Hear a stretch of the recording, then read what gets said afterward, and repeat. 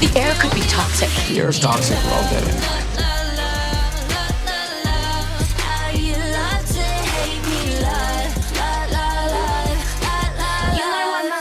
So much for together.